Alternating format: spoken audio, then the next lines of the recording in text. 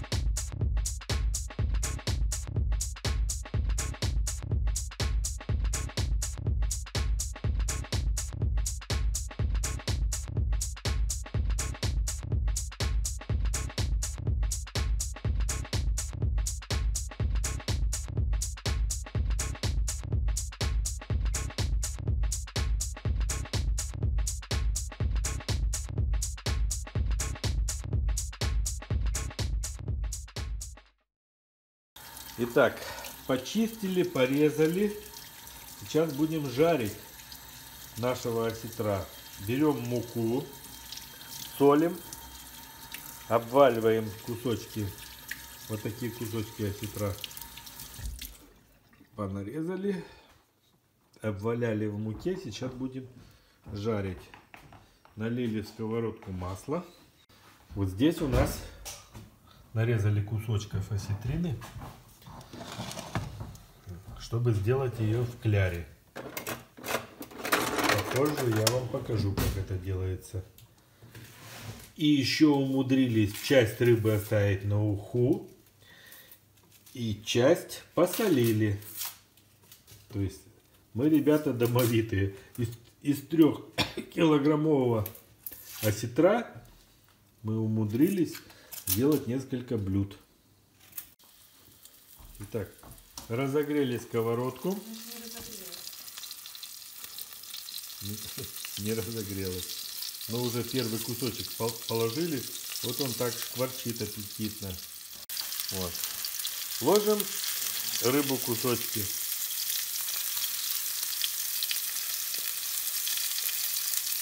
Это получится у нас целая сковородка осетрины.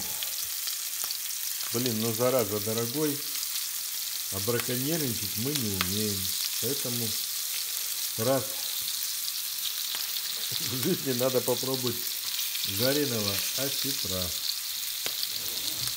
Все, ждем. Рыбку мы положили. Прикрыли крышкой.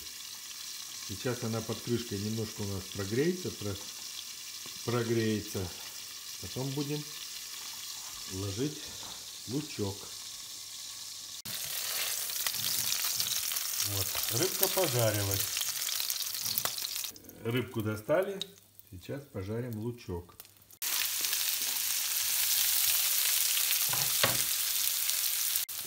Так, ну вот наш лучок жарится так томится. Здесь мы приготовили зелень укропчик зелененьким лучком. Это мы потом сверху посыпем. Ну вот, лук выл, лук потушился. Сейчас мы сюда выложили, положили нашего осетра. Получается вот такая вкуснятина. Еще изюминка. Изюминка. А изюминка это вот наша зелень. Дайте мне вилочку, пожалуйста. Сейчас мы оценим, что такое искусственно выращенный осетр по вкусу. Стоит ли он таких денег? Денег.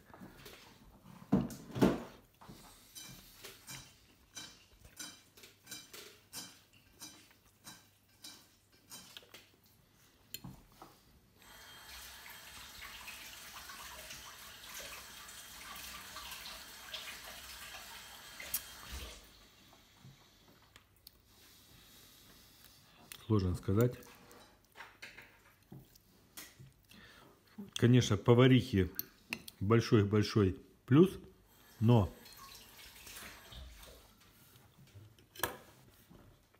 жареный искусственный осетр, рыба да рыба. Косточек мало, пожарено вкусно, но уж такой осетровой изюминки – не знаю. Не нашел.